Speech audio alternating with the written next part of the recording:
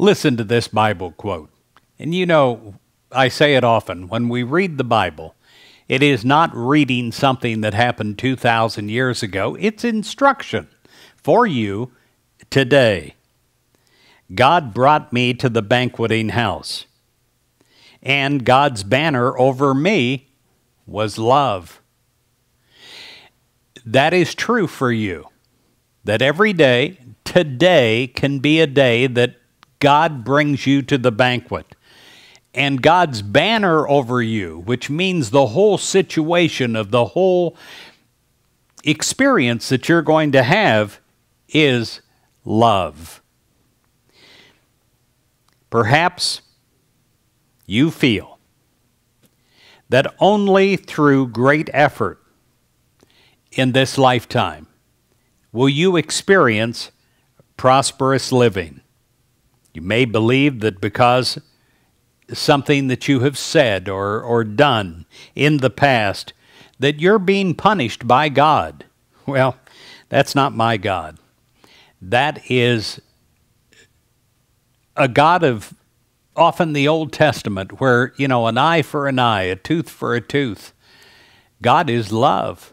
God's banner over you is love. And you are not going to be denied health.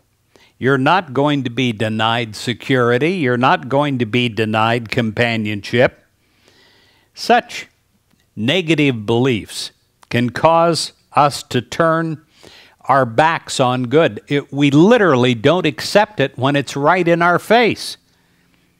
We can turn towards God given good as we recognize that God is the creator and source of unlimited good.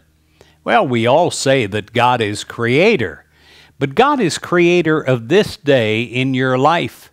And God is a recreator of you in this day in your life.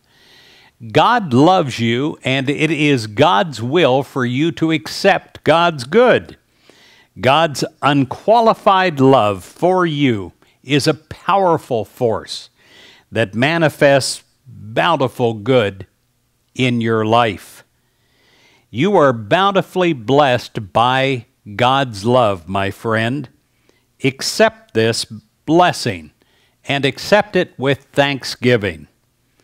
Divine love manifests as bountiful good in our lives, and you are a grateful receiver of this. This is what grace is. Maybe you truthfully don't deserve it, but you get it anyway through God's love. As you align yourself with the goodness of God, you align yourself with the acceptance of the goodness of God.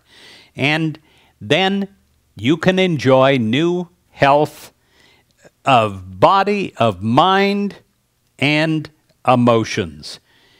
And in all ways, you are bountifully blessed. I pray today that you are bountifully blessed by God. I pray that you accept this. I pray that you realize that today is a new day created by God. It's not uh, chained to the past. You're not chained to the past. And it's God's will for you to become the most that you can by accepting a new day. God bless you.